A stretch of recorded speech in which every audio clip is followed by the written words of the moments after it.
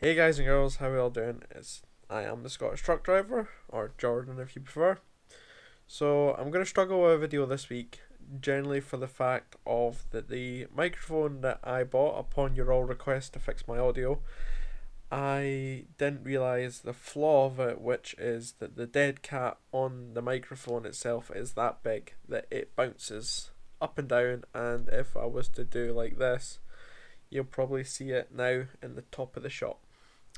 So, uh, thanks to DD who gave me a solution of extending the piece where it mounts to and sent me a link. So I now have that piece coming, which will make it about that bit bigger. So that way I can vlog um, in the truck and because the trucks that I drive are generally old and rattly, um, yeah, you, this thing just kept bouncing all over the shot. Um, and when I took it off, you can't hear anything. It needs to have that on it. So that's why there's not going to be much footage this week because I was not going to put a video with that flopping about for three quarters of it.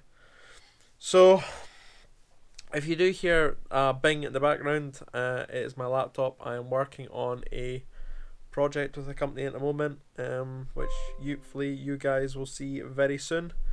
Um, so yeah, look out for that. Anyway, I've been recognised not just because of the Scottish truck driver. Um, I also get, mm, I would say about a message a week asking was I that dude in the paper.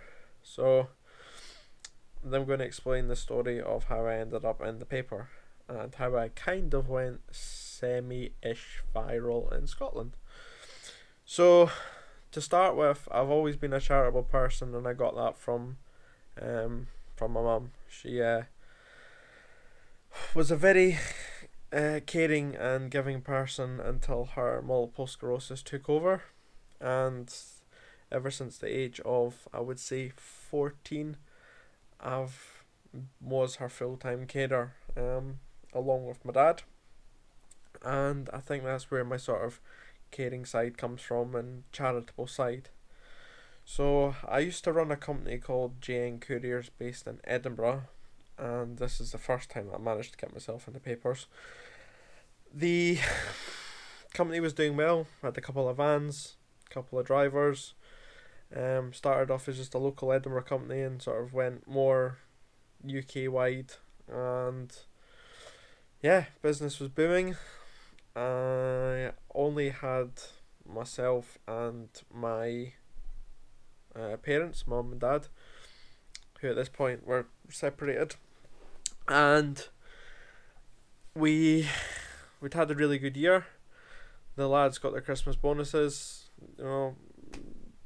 Well, what was coming up to Christmas is they so I'd already kind of set an allowance to you know like oh here no here's the here's your bonus here's um a night nights out money etc. Anyway, that's besides the point. So I decided one year because I was single and didn't really want, didn't see, my parents never really asked for much nor needed much. So instead of spending hundreds of pounds on unnecessary stuff for them, I decided it'd be a good idea to give back for all the people that were shouting me out on Facebook, that were tagging me in posts, etc., um, for my business. So the first time I got into the paper was because we decided to do a Christmas appeal where we set an allowance per child. I can't remember the top of my head what it was. I think it was about 50 quid, 60 quid. And for parents to give us a message if they were struck know that they were going to be struggling this Christmas as long as they were sort of vetted to make sure that they were actually genuine, which because you won't believe how many ungenuine people there are in this world. We went out where they asked their, their kids, you know, what they wanted for Christmas, and we went out and bought as many Christmas presents as we could for that sixty pound. Um, obviously there was kids where there was a little bit more, some kids wanted less, etc. But it was round about that figure. Um, you know, small stuff that you know, if the parents could buy like one main gift, um, you know, that was a real struggle for them to get. This was the the be- sort of the smaller stuff that would sort of fill up their, their Christmas. Anyway, so we managed to cater for I would say about 80 people, 80 kids, and a couple of days before Christmas we got Father Father Christmas, aka me.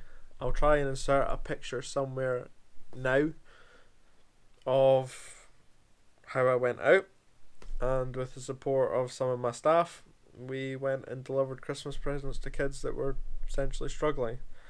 I think that post got something stupid like I think it was like five at the time a couple of years ago. I wish I had the original post, but unfortunately the Facebook page was deleted. So I think that kind of had like between five and seven thousand shares on Facebook and um, umpteens amount of comments, etc. But that was my first step into giving back. As I said, I've always been charitable. Um, from a young age. Um, uh, like when I worked at Pizza Hut when I was seventeen, and you know instead of seeing the rejected pizzas going out at night in the bucket, I used to take them, put them in the back of my car, and drive around Edinburgh City Centre looking for homeless people to give the pizzas to.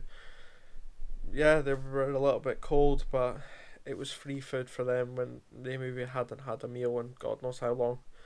And that brings me on to my second point. So I'll try and put the post to Snow somewhere to the right of me so you guys can you guys can read it and um whilst I'm I'm talking so that way if I do mugger up see I'm already doing it. If I do bugger up my words you can at least um read it yourselves rather than uh, oh I really don't like the way that Facebook if you touch it once it, it just wants to um just wants to cancel itself. So I put up a post. I want to find out the 3rd of January I put up a post. So a little bit bit background to this situation I have been on the verge of being homeless myself. Um, after me and my ex fiance sort of split up, um, I didn't really have anywhere to go, so I decided that. Well, I luckily had a bit of money saved up, so I got actually the place that I'm in now, and the place that this post refers to. So I'll put this post somewhere round about this section, or, or a screenshot of it. I'll have to take my name out, obviously. Um, but uh, so it reads. So I've been debating posting this for a while, but decided to finally do it. Anyone that knows me knows I'm a very charitable person with a big heart, so I've decided to put both my spare rooms up for rent completely free. So if you're reading this and don't mind sharing it, I would be honoured. I know there's a lot of struggling people out there, possibly facing homelessness, the subject of domestic abuse, or financial hardship. So I have two rooms that I'm willing to give away rent and bill free for people to get back on their feet. The house is in Broxburn and I do have pets, but given my history working with many with many companies and agencies, I can provide contacts for employments and can help with transportation if needed. A warm home to start again, 2020, the year to give back. Thank you, and if you're interested, drop me a message and we can take it from there. So that post got 12.6 thousand shares. Um, as I said, I've been on the verge of being homeless myself. I have some very, very strong friends who have been also the subject to domestic abuse um, to the point that you get that phone call late at night and this has happened. Is there any way you can come and get me? I need to get out of here um, you know, on the phone to the police saying that they're scared that they don't want to be in their own house. So it was just something that kind of sparked in me to go, well, you know what, I'm going to try and give back. Um, financial hardship as well. I'm sure we've all been there at some point where we've maybe overspent or, you know, say uh, a divorce and you've got no money left. I, I can't really remember what I was thinking at the time in the financial hardship part, but it, it was something at least that you know wasn't done for publicity. Nothing I ever do is for publicity. If I wanted publicity, there's easier ways to go about it than doing this. This was just generally for the fact of that I was working for a really great company at the time, um, which is a recovery company based in Earth, uh, E. Burgoynes and Sons, and I had money coming in, I had these two rooms here. I used to rent them out through Airbnb, and I just wasn't comfortable with the fact of that I had to keep my house completely spotless all the time. That I had to, you know, have someone here constantly for keys, etc. The fear of stuff getting stolen, you know, someone being maybe a bit mean to my cats, etc. You know, it's just the way that it sort of went. I just didn't, and Airbnb just didn't quite fit in. So, uh, this was kind of the next best thing that I could think of that would give me a sense of personal satisfaction as well as helping other people out. And I'm pleased to report I did have two people staying with me, but unfortunately, due to circumstances, they ended up having to leave. Um, so at the moment, one room is being taken by a very good friend of mine, and the other one is there needing uh, a bit of TLC. But that's how I ended up in the paper for the second time because of this post. I think there was the post from um is it the West Lothian uh West no yeah some a, a page on West Lothian that a newspaper in West Lothian that, that shared it and then I think the Edinburgh Evening News also shared it as well. So yeah. Um as I said it was just my way of giving back and this was the best thing that I could do. And I keep getting messages saying where do I know your face from? This will be from it. Um so yeah. I do I do have a soft and tender side at some points. It might not seem on camera but um yeah this was something that was a great personal satisfaction to me to do and I would do it again. I would just advise anybody that is going to do it to vet who you have coming to stay with you first if you can. Maybe try and meet them first, um, and get a little bit background information. I don't know if you can do a criminal background check on someone.